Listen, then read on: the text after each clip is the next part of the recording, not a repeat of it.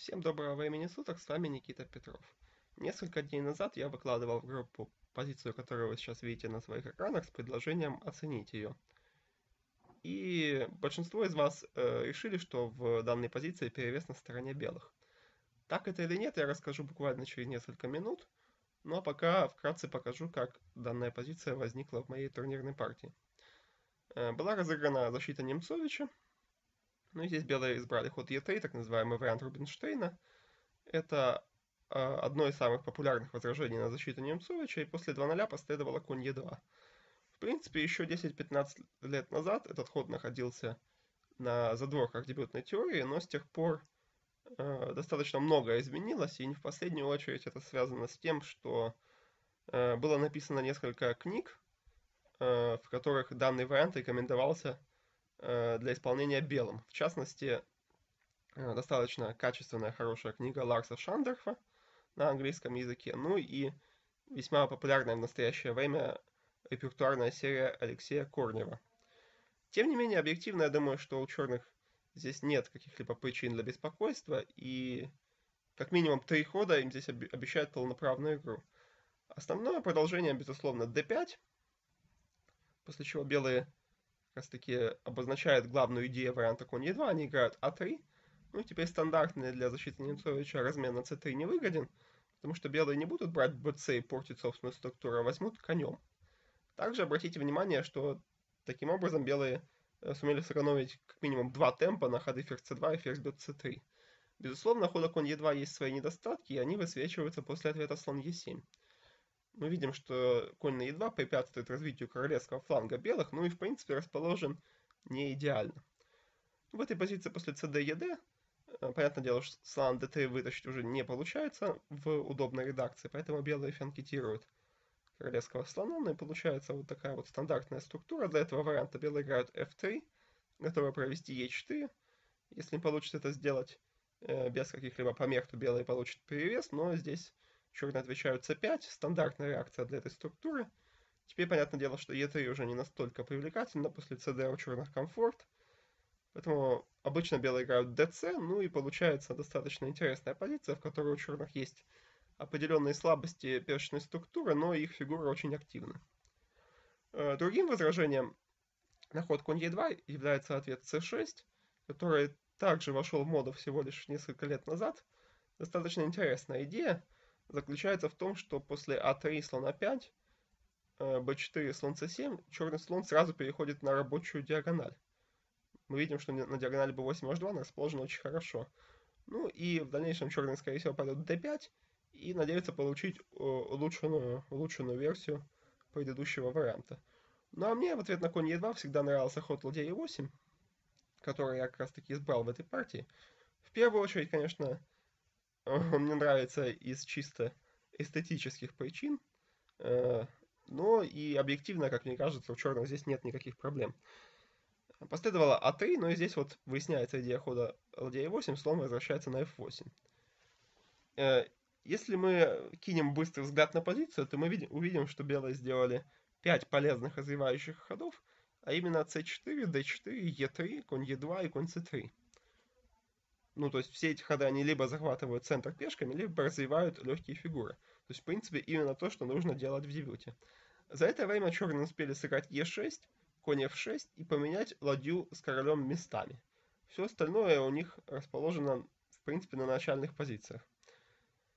Э, и также не стоит забывать, что в этой позиции ход белых. То есть, казалось бы, вся логика э, постановки дебюта здесь говорит о том, что у белых должен быть перевес. На самом деле, как мне кажется, это не так. У черных достаточно комфортная игра. Но в этой позиции у белых есть два основных хода теоретических. Это d5, после чего у черных достаточно широкий выбор продолжений. Мне лично нравится ответ d6, э, после чего, ну, в случае стандартного g3, черные бьют на d5, после cd играют c5. Обратите внимание, партия началась э, защитой Немцовича, но вот в этой позиции после хода слон g2 белые могут допустить структуру, которая характерна для э, защиты модерн Бенони. То есть, например, слон d7 с идеей b5, a4, конь a6. Но мне кажется, что у черных здесь нет никаких проблем.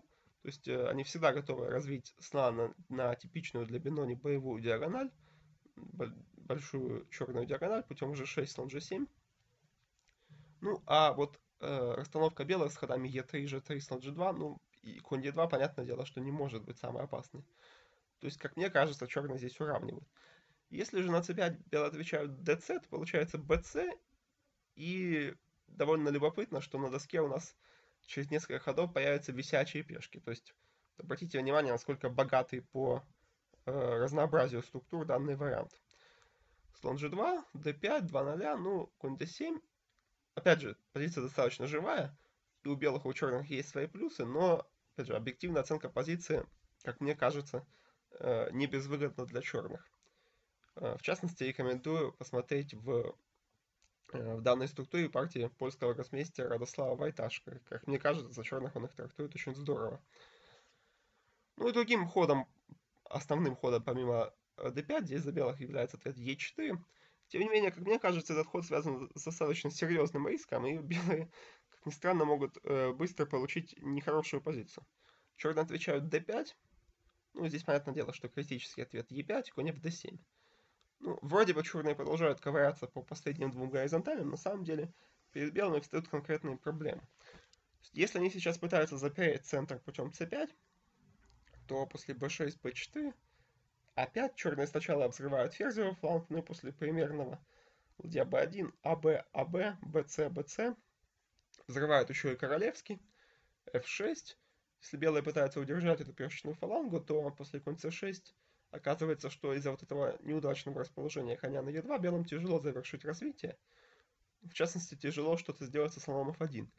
Если э, белые пытаются играть g3 и фианкетировать его, то черные уже наносят прямой удар по центру, то есть fe, fe, конь c на e5, de, конь e5. У черных уже две, две пешки за фигура. Пешка на c5 упадет следом, ну и понятное дело, что белых большие проблемы, потому что их король так и не успевает рокировать. То есть э, c5, пожалуй, белым играть не стоит. Основной ход это cd, ед. Опять же, по структуре у белых должно быть явно лучше, но все портит конь на e2. То есть черные готовы следующим ходом пойти c5, белые пытаются предпринять профилактические меры, но еще, еще серьезнее ослабляют позицию собственного монарха. Здесь после c5 g3, конь c6, э, черные наращивают давление на центр – Например, после слон e3 cd уже приходится э, делать довольно некрасивый ход слон бьет d4, потому что на конь бьет d4, создает конь d на e5, и здесь у черных достаточно мощная инициатива после fe ладья e5. Ну, опять же, тема нашего ролика все-таки не совсем разбор, э, не совсем дебютный разбор, поэтому не буду зацикливаться на этих вариантах, скажу только, что, как мне кажется, у черных должна быть комфортная игра. Мой соперник после слона f8 избрал конь f4. В принципе, стандартная э, стандартный ход, например, для э, структур, в которых черные уже провели d5. Но в данной позиции, как мне кажется, это легкая неточность, и именно белым уже надо проявлять здесь аккуратность. Безусловно, черные э, могут ответить на конь 4 d5 с нормальной позиции, но мне кажется, что d6 конкретнее и сильнее. Последовало слон e2. Ну, понятное дело, что одна из основных идей хода конь f4 в том, чтобы обеспечить нормальное завершение развития белым. e5. DE. Ну, возможно, ход DE здесь является неточностью, хотя, конечно, моему сопернику было тяжело это предвидеть. Скорее всего, объективно сильнейшая конь D3. Здесь после ED, ED, D5. Понятное дело, что у черных нет никаких проблем, ну и белые после C5 не должны стоять хуже. И еще один интересный вариант. Помимо э, ходов конь d3 и de, здесь еще есть ответ конь f на d5 который, как э, я узнал после партии, применялся и не раз. Ну и вот здесь очень-очень интересно.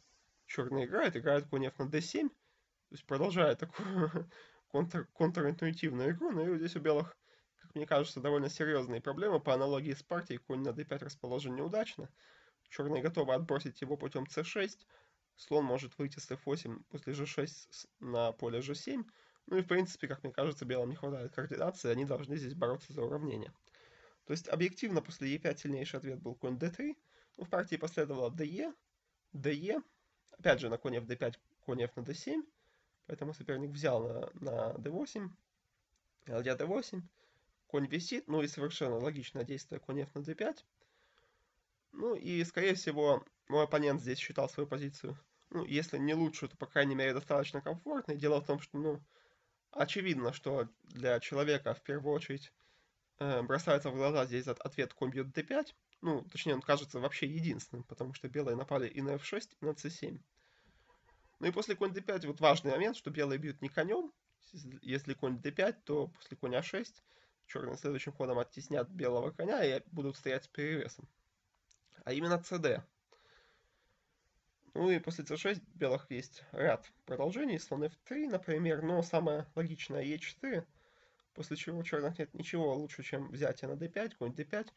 Ну, эта позиция, в принципе, должна быть примерно равной после конь c6, но все-таки обратите внимание, что у белых есть парочка лишних темпов. Это может сказаться. То есть компьютер данную позицию оценивает примерно как 2 десятых в пользу белых. Ну, после коня в d5 я заранее наметил ответ конь e8, исполнил его, и ход, как мне кажется, достаточно сильный. И вот как раз вот эту позицию вы видели в опросе в группе ВКонтакте. Ну и сразу скажу, что молодцы прав правильно ответили те, кто посчитали, что в этой позиции перевес на стороне черных. То есть это на самом деле даже не подлежит сомнениям. Единственный вопрос здесь э, в размере перевеса черных. Э, конечно, под впечатлением от э, данной сыгранной партии, мне хочется сказать, что у черных большой перевес. Но объективно это, наверное, не совсем так. Скорее, позицию можно оценить как э, небольшое преимущество у черных, но даже чтобы добиться такой оценки позиции, белым здесь придется постараться. Ну, сейчас объясню, почему вот такая вот контринтуитивная игра с возвращением всех фигур на э, восьмую горизонталь она оказывается сильнее, чем, в принципе, логичные действия белых, развитие фигур, легких фигур на активные позиции. Ну, во-первых, мы видим, что конь на d5 достаточно опасной ситуации. Э, если представить, что черные пойдут сейчас конь а6 и потом c6, то окажется, что у коня нет полей. Ну, конь b4 в этом случае будет связано с жертвой пешки. С белым надо что-то предпринять против этой угрозы. Э, ну, на проверив данную позицию с компьютером, я пришел к выводу, что сильнейший ход здесь за белых это конь e4. И именно после него перевес черных удается удержать в каких-либо при приемлемых рамках.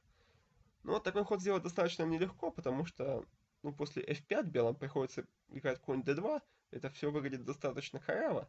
Ну и к тому же коня с d5 все равно сгонят. То есть здесь после c6 или слон e6 у черных комфортная позиция, видимо, с некоторым перевесом, но играть нужно было именно так. Во время партии мне казалось, что сопернику стоит все-таки пойти 2-0, но после c6, конь b4, конь f6, обратите внимание, что, да, черный слон, как я отметил стрелочками, очень быстро выходит на оптимальную позицию именно на поле f5. Э, черный конь через d7 быстро оказывается на поле c5, с которого он метит на ослабленные поля d3 и b3. Ну и черные всегда могут прогнать белого коня с поля b4 путем a5. Хотя, как мне кажется, спешить с этим не стоит, потому что, ну, очевидно, что клетка b4, она для белого коня не оптимальна. То есть здесь у черных достаточно серьезный перевес, но все равно это было лучше для моего соперника, чем то, что он избрал в партии. Э, после практически 30-минутных э, раздумий э, мой соперник здесь сыграл e4, но, несмотря на то, что компьютер считает, что этот ход не так плох, и выводит его то на первую, то на вторую линию, по-человечески это очень грубая позиционная ошибка, и в дальнейшем э, партия белых очень быстро прокатилась под откос. Сейчас я покажу, как это произошло. Последовало c6, конь e3. Ну, казалось бы, ходом e4 белые обеспечили своему коню э, хорошую клетку для отступления, но вот здесь вот намного важнее, что навсегда ослаблено поле d4. Последовало конь c7, 2-0, конь e6. Ну и вот здесь, как мне кажется, последний шанс был для моего оппонента наладить какое-то сопротивление. То есть, понятное дело, что здесь он уже понимал, что его позиция явно хуже. Но все-таки надо было сыграть конь c2. Э, очевидно, что э, белым не нравился ответ конь d4. После чего после конь d4 ед конь на c3 попадает под удар можно воспользоваться связкой. Можно воспользоваться тем, что ладья на d8 не защищена, сыграть ладья d1. Черный отвечает слон e7, все равно приходится убирать коня, видимо, в район поля а4. Понятное дело, что все эти ходы за белых достаточно уродливые, но все-таки Если конь с А4 в какой-то момент перейдет на d3, то ну, видно, что у белых появятся шансы на успешную оборону. То есть, если бы мой соперник избрал данное продолжение, то исход партии был бы еще не ясен. Но последовал очередной достаточно слабый ход b4. Тем не менее, вот, довольно любопытный показатель на то, как черные фигуры практически беспрепятственно выходят на оптимальные боевые позиции. После b4 последовало a5. Ну вот здесь, вероятнее всего, мой соперник э, издалека намечал ход ладья b1. В принципе, с стратегической точки зрения, именно ладья b1 здесь верно, но после ладья b1 есть э, очень сильное возражение, которое, должен сказать, что время партии я видел. Вероятно, вероятнее всего, именно так и сыграл бы. То есть здесь черные могут ответить конь d4, c5, аб, аб, скрывая вертикаль для ладьи. Ну и вот здесь вот важный размен, такой стратегически э, не совсем очевидный, но тем не менее, от, от этого не становящийся менее сильным. Э, черные на самом деле должны брать на e2, иначе их перевес серьезно уменьшается. После конь e2 просто сыграть f6. Вроде бы э, черные поменяли своего монстра на d4, но не очень сильного слона на e2. Но нюанс этой позиции заключается в том, что, во-первых, э, белые никак не могут оспорить владение вертикалью А, а это означает то, что пешки, пешка, пешки b4 и c5, в первую очередь пешка b4, станут очень слабыми. Ну а черные готовы вывести свои э, оставшиеся легкие фигуры на идеальные позиции. То есть слон выйдет на e6, а конь выйдет на a6. Вероятно, после, уже после проброса черной ладьи в РМ поле а2. Ну, компьютер указывает здесь как сильнейший ход ладья d1, но после ладья бьет d1, конь бьет d1, оценка движка практически минус единица. Ну и защищать такую позицию человеку очень непросто. Тем не менее, это было, пожалуй, сильнее, чем то, то что мой соперник избрал э, во время партии. Последовало b5. Ну, очевидно, что таким образом белые оставляют еще одно черное поле. Ну и, в принципе, э, последующая игра, она не требует особых комментариев. Я просто занял все сладкие поля и партия на этом закончилась. Последовала конь d4, слон d1, слон e6. В принципе, конь d7 было тоже возможно, но э, я уже в этот момент догадался, что, скорее всего, мне дадут исполнить все ходы э, в достаточно комфортной обстановке. Ладья b1, конь d7, g3, ну, пытаюсь наладить хоть какую-то контр-игру путем f4, но понятное дело, что слишком поздно, конь c5. И вот это был 19-й ход черных, довольно любопытное, как мне кажется, то, что еще буквально 8 ходов назад позиция выглядела вот так. И это был 11 ход, а вот на 19-м позиция выглядит следующим образом. Ты можешь даже не, нельзя сказать, что мой соперник допустил какие-то грубые зевки или грубые позиционные ошибки. Изначально позиция была крайне неблагоприятной для белых, и если вы мне не верите, даже несмотря на то, что посмотрели это видео, то можете поставить вот эту позицию на анализ с помощью движка, и он, в принципе, выдаст вам те же самые выводы, что и я. Но в факте поставила f4, слон h3. Все, черные переходят к конкретной игре, потому что помимо ферзя фланга теперь у белых серьезно ослаблен еще и королевский, конь g2. В случае отхода ладьи все равно конь заходил на d3 с решающими последствиями конь d3, fe, конь c1, ладья c1, слон a3. То есть материалы поровну, но у белых слабы абсолютно все пешки, ну, может быть, кроме пешки g3 и в недалеком будущем они все потеряются. ДБ1, слон b4. Не уверен, что моя реализация здесь была э, очень точной, но позиция слишком, слишком уж выиграна, и испортить ее практически невозможно. Конь e2, вот, например, здесь объективно сильнейшим было конь e2, слон e2, ладья d2. И в дальнейшем, после слон c5 шаг, пешка черных очень быстро бежит в ферзи. Но путь, который э, я избрал, за доской тоже достаточно неплохо. Слон Е6, просто забирая все слабости. БЦ, БЦ. Конь Е на F4. Уже у черных одна лишняя пешка, и пешка А бежит в ферзи. Ладья F2, конь B5. С идеей конь C3. У белых уже нет какой-либо комфортной защиты. Еще последовала ладья C1. Но здесь после слон C5 нельзя брать на C4 из-за ладья бьет D1 шаг. И ввиду решающих материальных потерь мой соперник признал свое поражение. Ну, как мы можем видеть, партия получилась не то чтобы очень, э, очень высокого качества, но все-таки позиция после 11 хода, на мой взгляд, ну, очень необычно, если не сказать уникально. Не каждый день увидишь, когда э, 7 черных фигур на 8 горизонтали полностью доминируют над э, развитыми фигурами белых. Надеюсь, что вам понравился данный обзор. Всем спасибо за внимание. С вами был Никита Петров.